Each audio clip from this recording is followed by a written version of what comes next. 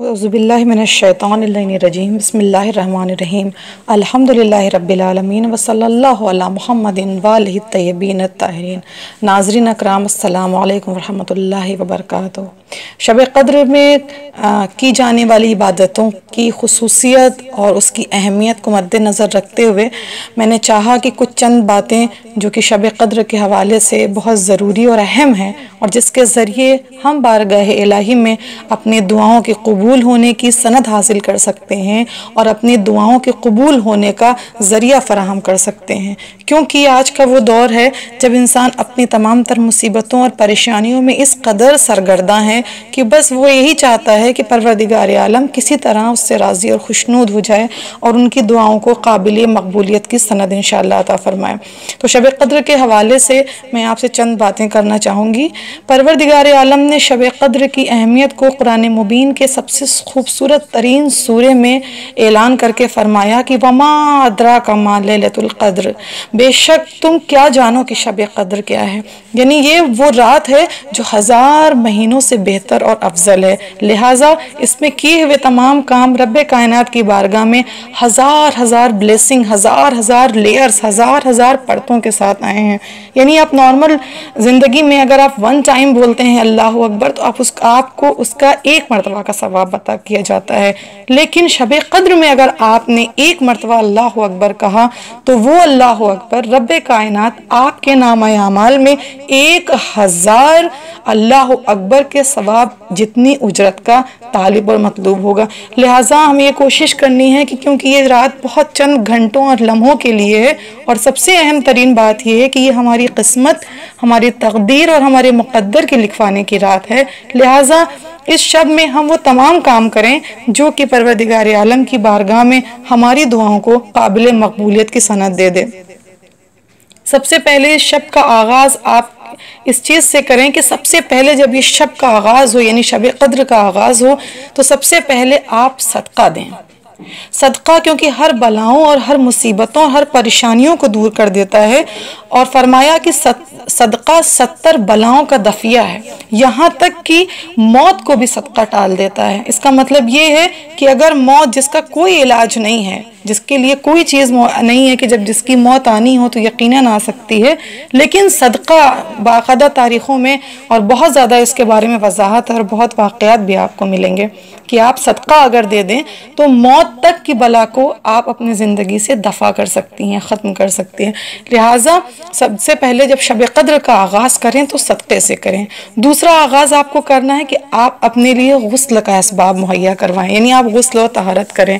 لکھا ہے بہت ساری فضیلتیں ہیں کہ آپ رات کے کسی وقت میں غسل کیجیے یا شب قدر کا آغاز ہوتے وقت غسل کیجیے۔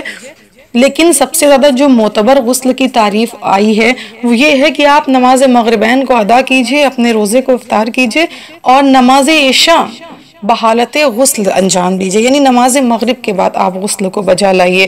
اور جب غسل بجا لائیے تو اس میں کئی ایک نیتوں کو کیجیے۔ جب آپ غسل بجا لائیے تو پہلی نیت تو یہ کیجیے کہ پروردگار عالم، شکر تیرا کہ تو نے یہ شب مہیا کی جس میں ہم نے اپنے لیے تمام اسباب کو مہیا کر سکتے ہیں، تیری بارگاہ میں اپنے گناہوں کی مغفرت طلب کر سکتے ہیں۔ دوسرا غسل آپ اس نیت سے کیجیے، اسی غسل میں نیت کر لیجیے کہ پروردگار عالم، ہم اپنے ظاہر اور باطن کے گناہوں سے عاجز ہو کر تیری بارگاہ میں آنا چاہتے ہیں ہم اپنے گناہوں سے پاک ہونے کے لیے غسل کو انجام دے رہے ہیں۔ تیسری نیت آپ یہ کیجیے کہ پروردگار عالم، کیونکہ اس شب میں ہمیں زارت مظلوم دشت نینوا، حضرت امام حسین کی کو بجا لانا ہے۔ لہٰذا نیت یہ کیجیے کہ ہم اس شب میں غسل کرتے ہیں زارت امام حسین علیہ السلام کے لیے، قربتاً اللہ اللہ اکبر۔ اور آپ جب اس تمام امور کو انجام دے لیں اور جب شب میں آپ آئیں تو لکھا ہے کہ آپ اس شب میں یہ شب کیونکہ خیر ہی خیر ہے، برکت ہی برکت ہے، رحمت ہی رحمت ہے۔ لہٰذا سب سے اہم اور سب سے ضروری جو نقطہ ہے وہ یہ ہے کہ آپ کو اس شب میں زارت مظلوم دشت نینوا بجا لانی ہے۔ اور یہ خاص زارت ہے۔ اگر آپ کو وہ زیارت نہ ملے تو آپ زیارت مبسوطہ بھی پڑھ سکتے ہیں یا زیارت عاشورہ پڑھ سکتے ہیں۔ لیکن تمام شیعہ، شیعوں کے گھروں میں یقیناً مفاتی الجنان ضرور ہوگی۔ اس میں شب قدر کے حوالے سے امام حسین علیہ السلام کی جو زیارت ہے، تو آپ اس زیارت کو انشاءاللہ بجا لے آئیے۔ اور اس زیارت کی فضیلت یہ لکھی ہے کہ امام حسین علیہ السلام کی زیارت ماہ رمضان میں کرنے اور خاص کر اس پندرہویں رات اور آخری شب میں اور شبہائے قدر میں کہ آپ کی زیارت کرنے کی فضیلت میں بہت سی حدیثیں وارد ہوئی ہیں۔ امام محمد تقی علیہ السلام سے روایت ہے کہ فرمایا ماہ رمضان کی تیئیسویں رات وہ رات ہے جس کے متعلق خیال کیا جاتا ہے کہ یہ شب قدر ہے۔ اسی رات میں ہر امر محکم اور مقدر ہوتا ہے۔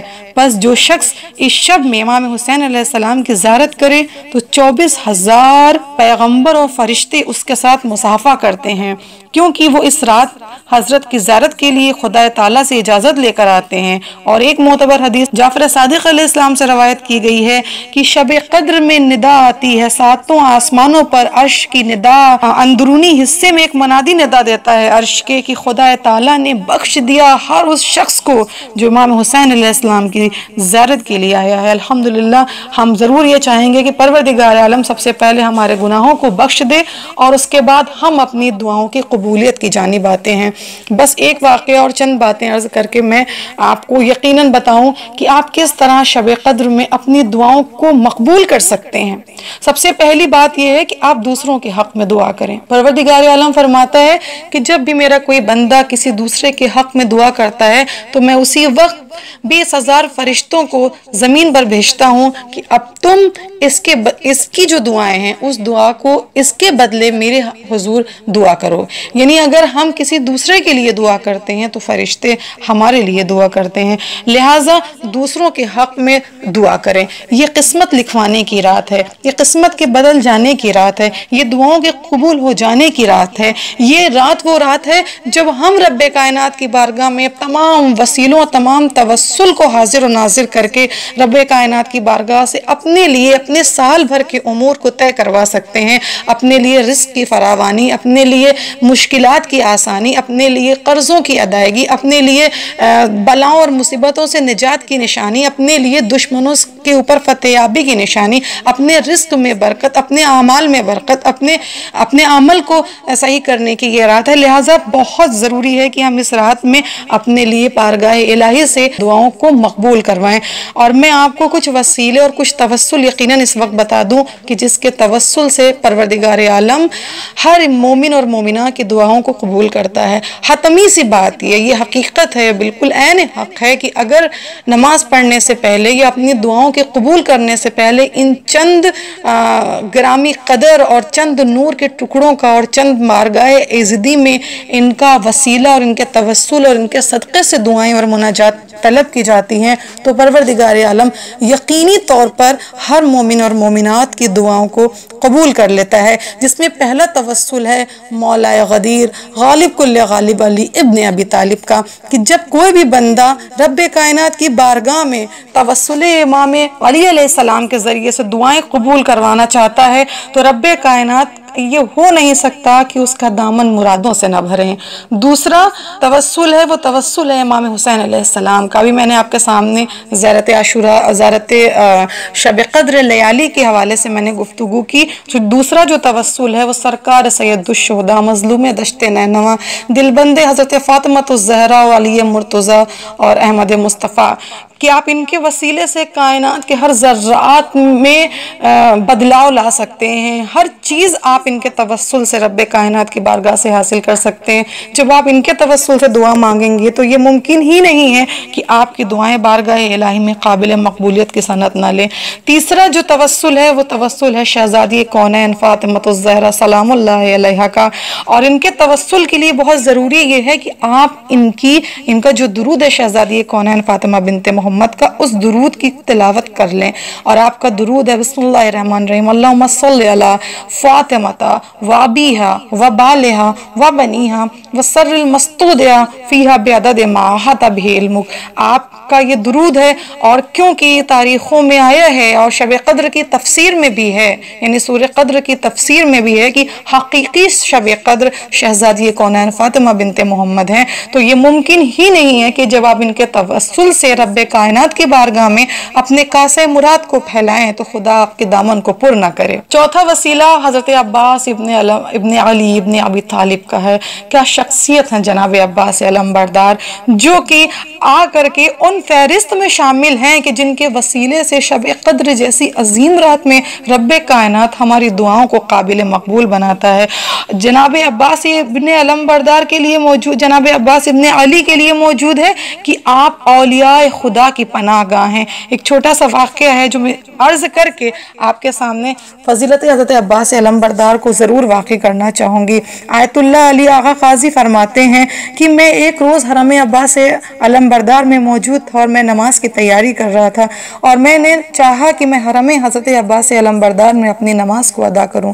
میں نے نیت کی اور میں نماز کے لیے کھڑا ہوا کہ میں نے دیکھا کہ میرے سامنے سے ایک دیوانہ شخص گزر گیا۔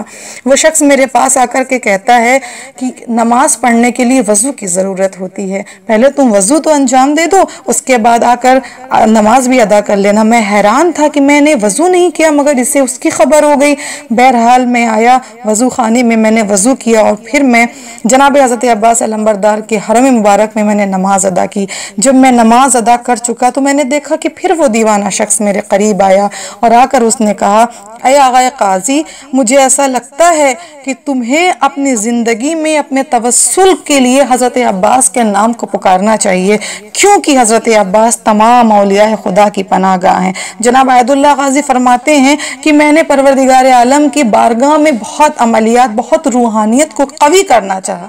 روحانیت کی منزل کے لیے میں نے خود کو قوی کرنا چاہا کہ میں کس طرح روحانیت کے معیار پر پہنچ جاؤں اور روحانیت میرے اندر اندر جذب ہو جائے۔ لہٰذا میں روحانیت کو حاصل کرنے کے لیے میں نے بہت کوشش کی۔ لیکن مجھے ایسا لگتا تھا کہ میرے اوپر روحانیت کا دروازہ نہیں کھلا ہے۔ میرے اوپر عشق پروردگار کی کیفیت نہیں ہے نہیں ہے۔ اور میں اس کیفیت سے تک نہ پہنچ پا رہا ہوں۔ لیکن جب میں نے دیکھا کہ اس دیوانے نے مجھ سے آ کر کے کہا کہ آپ حضرت عباس کا توسل کیوں نہیں کرتے، تو میں تو میں نے سوچا کہ کیوں نہ میں حضرت عباس کا توسل کروں۔ شاید اس طرح میرے حجابات کے پردوں کو ہٹا دیا جائے۔ شاید اس طرح میرے حجابات کے پردوں کو میری آنکھوں کے سامنے سے دور کر دیا جائے۔ یہ سوچ کر کے اسی وقت، اسی حرم مبارک میں میں نے حضرت عباس کا توسل کیا۔ ادھر میں نے حضرت عباس کو پکارا۔ ادھر دل کے حجابات برطرف ہونے لگے اور میں نے دیکھا کہ کائنات کی ہر ذرات میں تجلی خدا کا ظہور ہو رہا ہے۔ جدھر جدھر نظر اٹھا رہا ہوں، کیا دیکھتا ہوں کہ اسرار الہی کی تجلی نظر آتی ہے اور کائنات کے ذرے ذرے میں نور الہی اٹھ رہا ہے۔ میں اس وقت حرم عباس علم بردار سے اٹھا اور میں اپنے گھر آیا۔ کچھ دیر یہ کیفیت مجھ سے دور رہی۔ میں اپنے گھر آیا لیکن پھر میں نے محسوس کیا اور مجھے ایسا لگا کہ یہ روحانی اور عرفانی کیفیت مجھ پہ پھر سے طاری ہونے لگی اور ہر طرف مجھے تجلی الہی کا ظہور ہونے لگا۔ میں اپنے گھر کی چھت پر آیا اور وہاں پر آ کے جو دیکھا تو کائنات کا ذرہ ذرہ تجلی نور الہی کا جلوہ نما بنا ہوا تھا اور پھر یہ کیفیت میری مستقل ہونے لگی۔ کیا یہ ممکن ہے؟ قارین حضرات کہ ہم حضرت عباس علم بردار کا توسل کریں اور ہماری دعاؤں میں اثر نہ ہو۔ لہٰذا تجلی الہی کے لیے، قرب الہی کے لیے، دعاؤں کی مقبولیت کے لیے توسل حضرت عباس علم بردار شب قدر میں نہ بھولیں۔ اور آخری توسل ہمارے امام کا، ہمارے وقت کا، ہمارے صاحب العمر کا ہے کہ آپ ان کا توسل کریں۔ اس لیے کہ امر الہی سے تمام کے تمام فرشتے امر الہی کو لے کر کے ان کے پاس آتے ہیں۔ تمام ہماری تقدیریں، ہمارا نصیب، ہمارا مقدر اسی رات طے ہوتا ہے۔ ہمارے سال بھر کے رزق، ہماری پریشانیاں، ہماری بیماریاں، ہماری مصیبتیں، ہمارے قرض، تمام جتنی ہماری پریشانیاں ہیں، وہ اسی رات ہمارے لیے لکھ دی جاتی ہیں کہ ہمیں، ہم سے یہ کس طرح دور کر دی جائیں گی اور ہمیں کس طرح پروردگار عالم کی نعمتیں عطا ہوں گی۔ لہٰذا آخری توسل جو امام زمانہ کا ہے، تو شب قدر میں آپ امام زمانہ کا توسل کریں۔ اور توسل کے لیے ضروری ہے کہ اب زیرت عال یاسین پڑھیں۔ اور کیونکہ شب مختصر ہے ہے تو ہو سکتا ہے کہ اب زارت اہل حسین نہ پڑھیں۔ تو ایک چھوٹا سا فقرہ اپنے زبان پہ قائم رکھیے گا۔ یا امام زمانہ ادرکنی اور یا امام زمانہ اغیثنی اور پھر دو جو بھی دعا رب کائنات کی بارگاہ میں آپ مانگیں گے، جس دعا کی بھی کوشش کریں گے، یقیناً بارگاہ الہی میں مقبول الہی ہوگی۔ انشاءاللہ ہمیں اور گراف ایجنسی کی ٹیم کو اپنی دعاؤں میں یاد رکھیے۔ اور پروردگار عالم بتصدق امام معصومین اور ان چاردہ معصومین کے صدقے میں تمام شیعوں کو اپنے حفظ و امان میں رکھیں، یہ وبائی بیماری انسانیت سے اور اس دنیا سے دور ہو۔ انشاءاللہ ہمیں امام زمانہ کے چاہنے والوں اور ناصر و مددگاروں میں شامل فرمائیں۔ واخر الدعوانا الحمدللہ رب العالمین۔